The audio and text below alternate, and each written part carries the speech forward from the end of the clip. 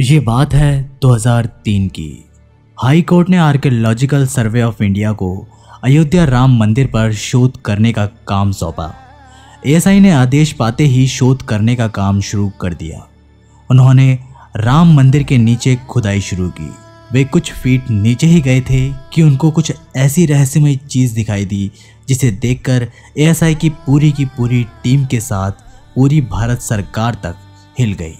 उनको ये अंदाज़ा तक नहीं था कि अयोध्या में उनको इतनी रहस्यमय और प्राचीन चीज़ मिलेगी। दोस्तों, आपको जानकारी आश्चर्य होगा कि 2020 में भी अयोध्या राम मंदिर बनाने के लिए जब ज़मीन के नीचे जाँच की गई, तब भी वैज्ञानिकों को कुछ ऐसी चीज़ें दिखाई दी जिसे देखकर राम मंदिर का काम रोकना पड़ गया।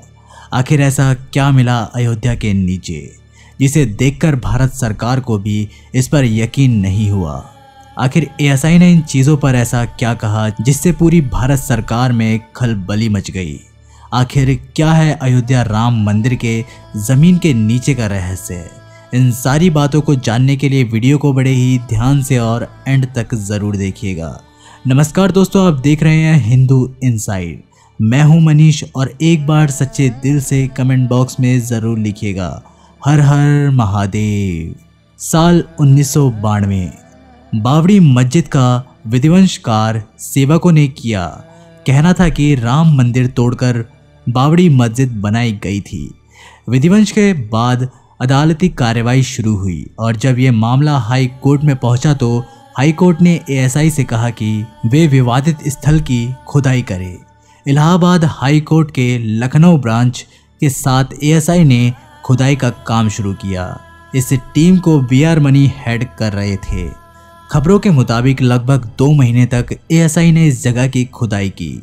खुदाई में कुछ ऐसी चीज़ें मिली जिसे देखकर सबके होश उड़ गए।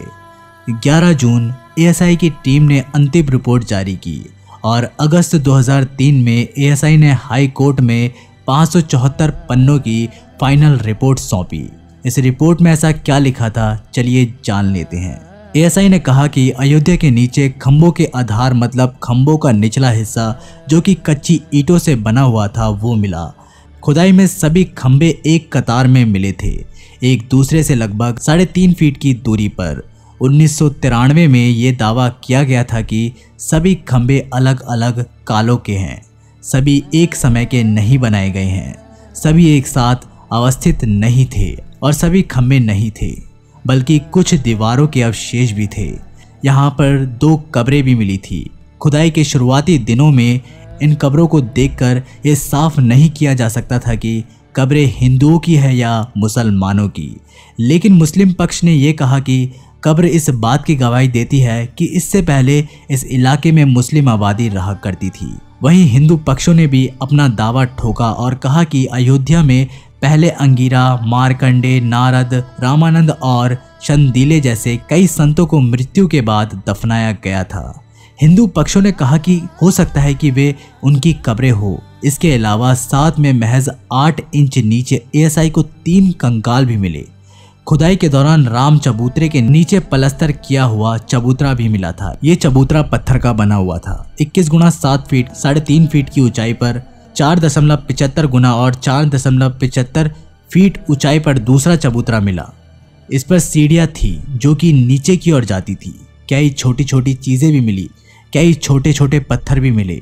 इन पर कुछ ना कुछ अंकित था। विश्व हिंदू परिषद ने कहा कि ये हिंदू स्थापना का ये एक सटीक प्रमाण है। इसके अलावा कुछ बर्तन, तांबे की मोहरे जिस पर पेड़ और मोर बने हुए थे, नक्काशी किए हुए पत्थर, टुकड़े तारा कोटा के तराशे हुए पत्थर जो मानव और पशु आकृतियों की तरह लगते थे। यहाँ पर इसके अलावा और भी कई प्राचीन काल की चीज़ें मिली थी। 2019 में राम जन्मभूमि का मसला सुलझाने के बाद यहाँ राम मंदिर बनाने का काम शुरू हुआ।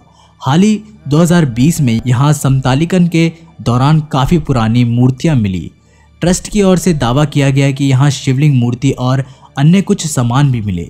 खुदाई के दौरान पुरातात्विक महत्व की कई वस्तुएँ भी मिली, जैसे कि कलश, पुष्प, अमलक इत्यादि। खुदाई के दौरान भारी संख्या में देवी देवताओं के खंडित मूर्तियाँ के आकृति, सात ब्लैक टच स्टोन के स्तंभ, छह रेड स्टोन के स्तंभ सहित पाँच फीट का शिवलिंग भी प्राप्त हुआ है।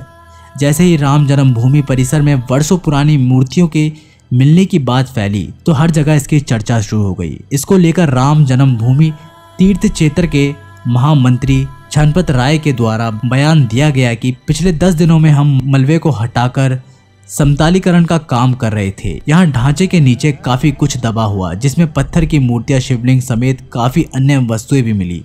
दोस्तों, आपको जानकारी आश्चर्य होगा कि राम जन्मभूमि के नीचे सरियों का स्रोत भी मिला था, जिसे देखकर मंदिर निर्माण का कार्य भी स्थगित कर दिया गया था। यहाँ पर इतने सारे प्राचीन वस्तुएँ और इतने सारे प्रमाण मिले, जिसे देखकर ये शक नहीं किया जा सकता कि यहाँ पर प्राचीन काल से ही भगवान राम का वास था। तो दोस्तों, आप लोगों का क्या कहना है इसके बारे में, हमें कमेंट बॉक्स के माध्यम से ज़रूर बताइएगा। अगर वीडियो पसंद आए तो लाइक, शेयर और चैनल को सब्सक्राइब करके बेल आइकन को प्रेस करना मत भूलिएगा। तब तक के लिए नमस्कार, टेक केयर।